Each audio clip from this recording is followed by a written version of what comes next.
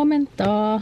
Täällä mä tulin just tota jo kauppaan, siis ruokakaupan parkkihalliin näin heti aamusta. Kello on 15 yli 8.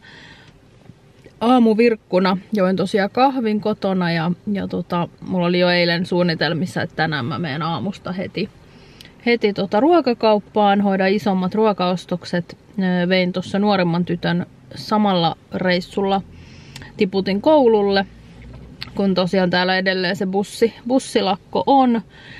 Mutta tota, nyt ruokaostoksille ja vähän viikonlopuksi, viikonlopuksi ruokia täytyy ostaa kotiin. Ihan kiva, täällä ainakin näyttää siltä, että parkkihalli on suht tyhjä. Täällä ei varmaan ole porukkaa vielä tähän aikaan aamusta, niin kiva hoitaa, hoitaa tuota ruokaostokset. Öö, mä voin vaikka kotona sitten, kun pääsen, niin mm, näyttää, mitä mä ostin. Niin nähdään sitten seuraavan kerran siellä.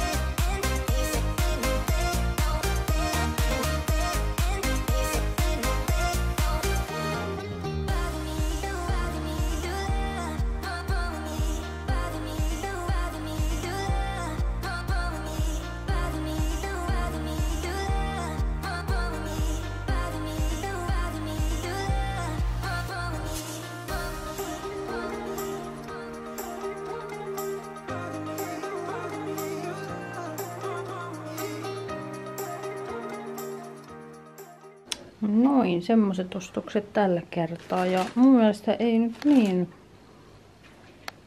kallista. Ehkä tässä on kuitenkin pesuainetta, saippua, vanulappuja, useamman päivän niin ruoka-aineet, mistä tehdä siis ruokaa. Niin tota 79 euroa, niin ei nyt mikään mahoton. Ja kävin siis Prismassa. Että nämä, nämä kaikki niin 79 euroa. Toki jos tässä olisi ollut vielä muutama karkkipussi, sipsi, no se olisi ollut varmaan sitten 80, 90 euroa siis. Niin, semmoset. Nyt mä rupean laittaa näitä tonne jääkaappiin. Meillä on tänään joku vesikatko. Mä otin nyt ö, vettä tonne kahvinkeittimeen. Ö, täytin vedenkeittimen ja sitten otin tonne valmiiksi, jos mä teen myöhemmin ton siskomakkarakeiton, niin on sitten vesi. Mut nyt tosiaan kello on puoli kymmenen. Mä kävin tuo ruokakaupassa. Mä ennen sitä join vaan kahvin. Ja söin yhden tämmösen, tämmösen riisikakun. Niin nyt on vähän nälkä, niin mä paistan itselle muna, munakoppelia ja sitten otan siihen vähän jotain kylkeä.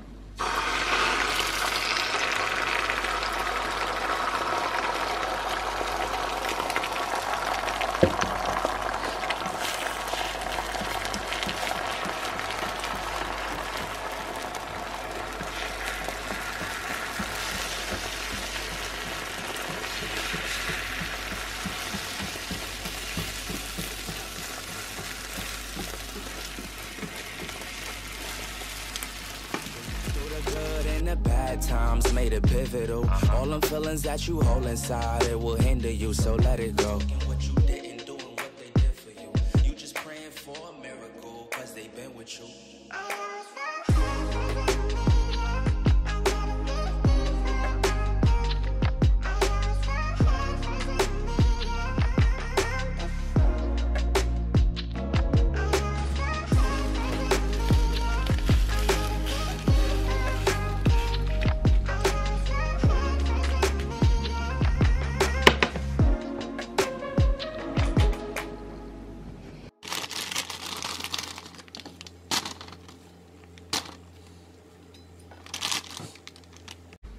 Noin munakokkelia, salaattia, salaatikastiketta laitoin siihen ja sitten pilkoin yhden päärynän.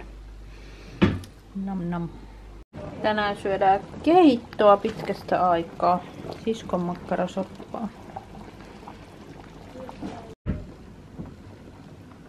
Nami nami. Nyt se saa hetken, hetken tota vielä kiehua. Nyt kypsyy noin makkarat ja perunat kunnolla. Sitten maistellaan.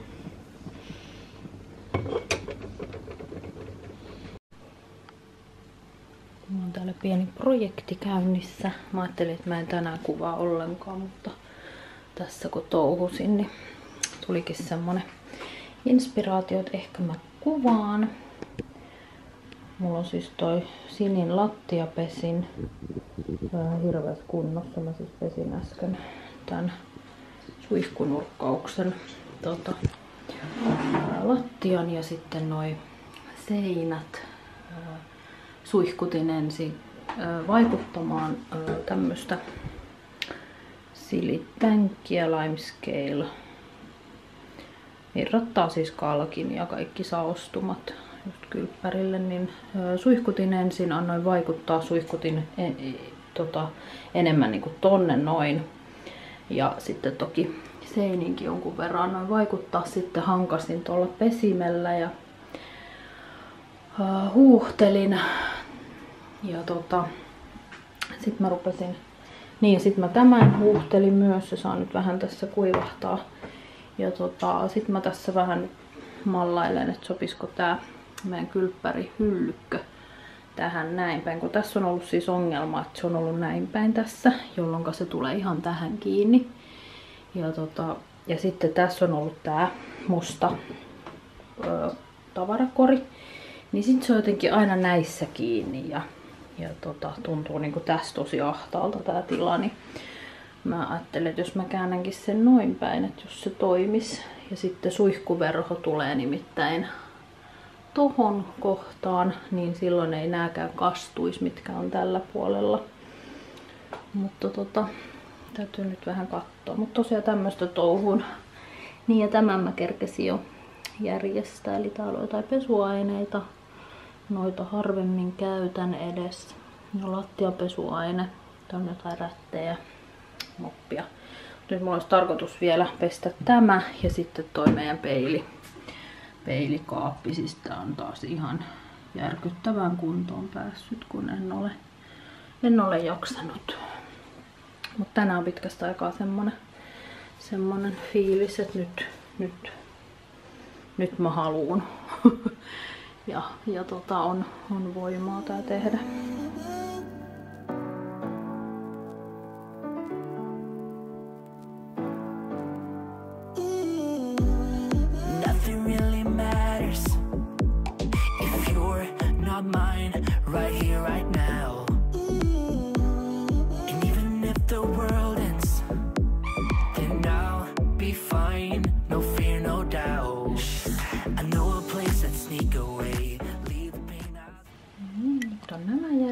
Järjestelty tänne.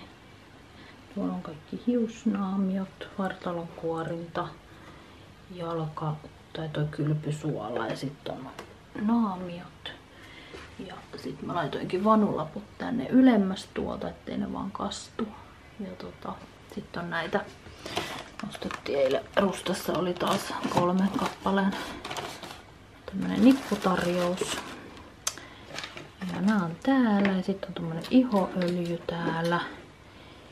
Ja sitten on oi, noin kuorintaa varten noin hanskat tai tämmöset ja sitten on toi pesu, pesujuttu.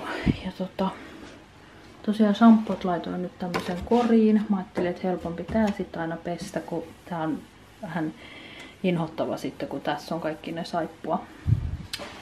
Saippua on tota, semmoset jämät tai ja vesijämät, niin tota, tää ehkä helpottaa nyt sitä, että vesi valuu tänne. Toki pitää aina muistaa välillä huuhdella toi tuolon täyttöä varten shampoo odottamassa.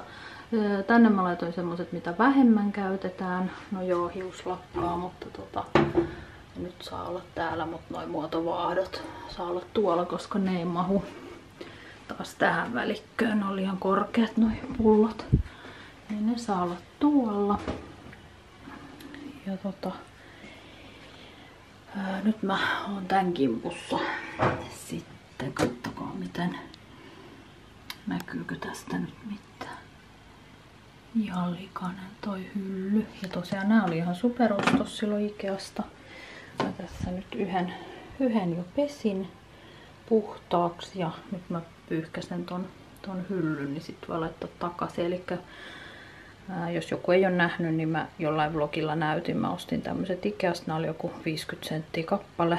Niin ajatuksena, että saa niin kuin jokainen oman hammasharjan tai sitten ton vaihtopään tämmöiseen. Ja tää on helppo sitten pestä, pestä ja laittaa tonne takaisin.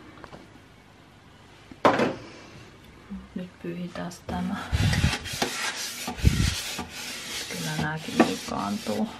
Mä en muista milloin mä oon viime tämän siivonnut tän kaapin. Nyt vähän vasemmalla kädellä vaikea putsata.